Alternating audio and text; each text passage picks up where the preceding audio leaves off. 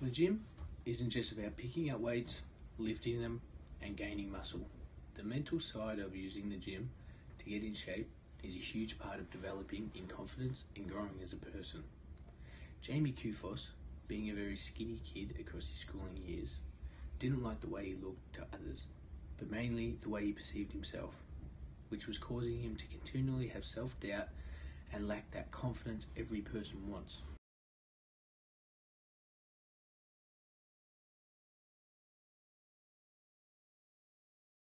In 2012, at the young age of 17, he began to start training in the gym, putting himself through a strenuous weight program and diet plan in the hope to put on weight and gain muscle mass. Three, come on, up, ah. up, come on, come on, up, Oh, one more. last one, last one, last and slow, slow. Yeah. Let go. Let go.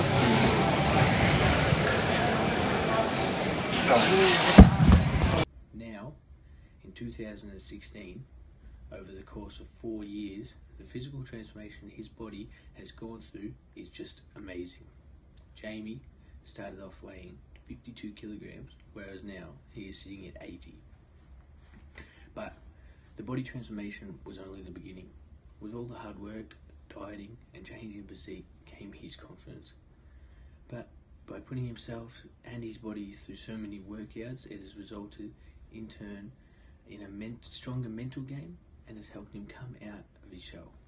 Now, Jamie is competing in physique competitions, putting him on in front of thousands on stage.